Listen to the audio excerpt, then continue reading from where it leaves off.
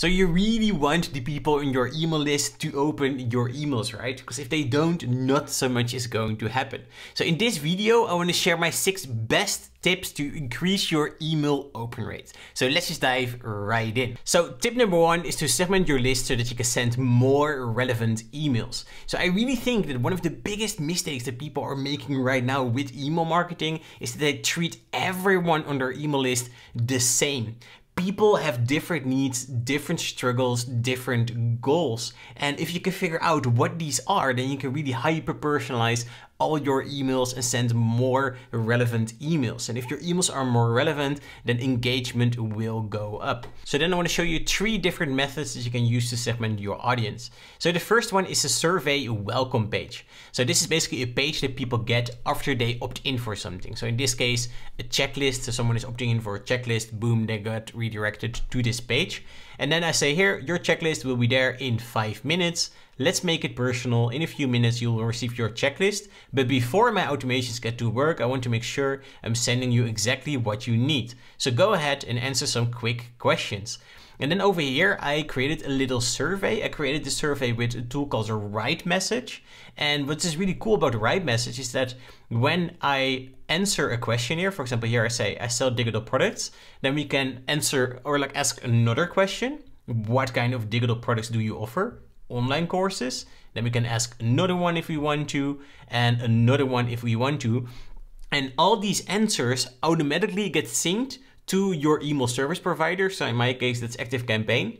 And then inside ActiveCampaign, all these answers will be stored into custom fields so that we can use that to personalize our emails. So I think that is pretty cool. A page like this is really, really effective. Another method that you could use is email links. So this one is probably the simplest one to implement. You basically just have your email, you ask a question, and then there are a couple of answers. And then we just ask people click one of the links below that describes you best. Now then in this case you see here, for example, I sell online courses, I sell memberships, I sell a software solution, I sell other digital products. And then depending on which email service provider you are using, you can add tags or store these answers into custom fields so that you can also use that to send more relevant emails. So I think that is pretty cool. And then the third method I want to show you is with site tracking. So I'm, for example, using ActiveCampaign and with ActiveCampaign, you can add a pixel to your website so that you can see which pages contacts are visiting. So for example, here you see that I add a tag, interest, topic, ActiveCampaign. If someone is visiting a page that contains ActiveCampaign at least two to five times. Now, then I do a couple of other things here. You don't have to worry about that, but I think this is probably a really easy way to figure out what people are interested in.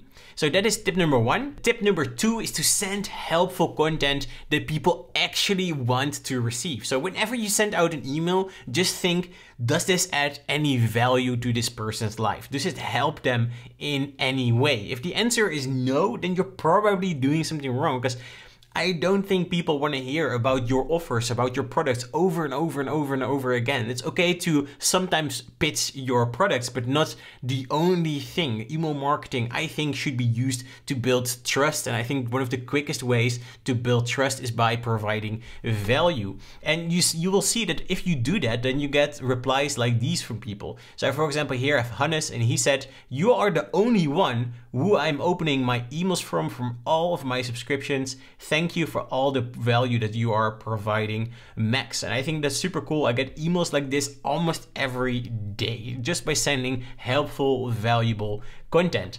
Now, then tip number three is to test if your emails are authenticated correctly with mailtester.com. So mailtester.com is a pretty simple tool and what it basically gives you is an email address, then you send an email to that email address, and then you're going to get a result like this. So you see here that it says, whoa, perfect, you can send. So my score is 9.3 out of 10, which is pretty high. I'm really happy with that. And what I think you should aim for here is at least an 8 or above. And if you scroll down here, then you can also see what you are doing wrong. So for example, when I got started with email marketing, I did not know this. I did not know all these authentication things. I just started sending emails and I just noticed that they were not being delivered or people were sending me emails like, hey Max, I'm not finding your emails anywhere. Where are they? And then I noticed that I did some things like really horrible, horribly wrong. So really be sure to test this. It's a free tool. So be sure to do that.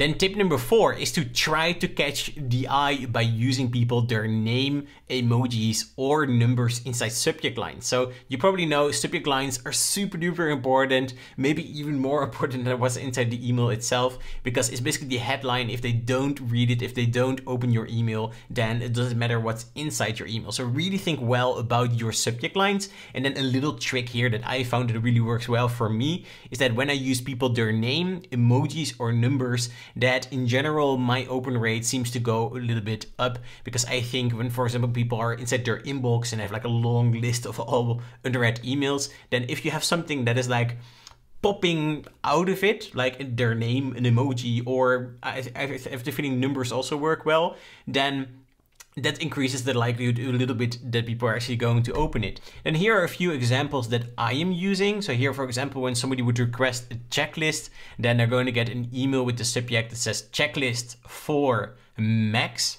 in lowercase. So that's maybe another trick that you could experiment with.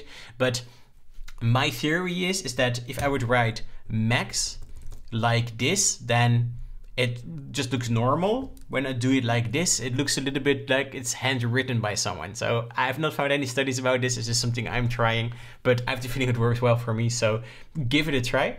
So then here an emoji and then the next one here is my three biggest learnings of 2020. So I included some numbers over here because I have the feeling numbers also with um, for example, titles on YouTube or in search results in Google tend to work a little bit better. So my theory was that with email subject lines, that probably works too.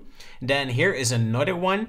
So here it says read this before and then one minute to midnight, but then like in these emoji symbols, like the two, the three, the five, and the six. So here we have numbers and emojis in one. Here another one that says enrollment closes tonight. So then here I have a little clock emoji. Here another one, how I increased open rates by 31.5%.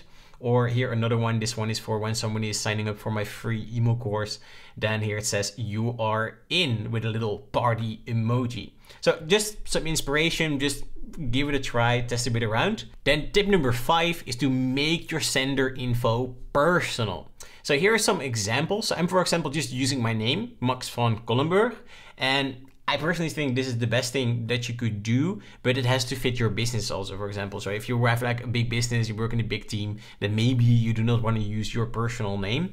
But then one thing that I think you could maybe still try is, for example, here from Bonjoro, I got an email from Amy from Bonjoro. So it's like Amy, okay, I got an email from an actual person and it is from Bonjoro. So instead of that, it just says Bonjoro, then I'm like, ah, company, ah, it's probably newsletter, and then I would not even bother opening it.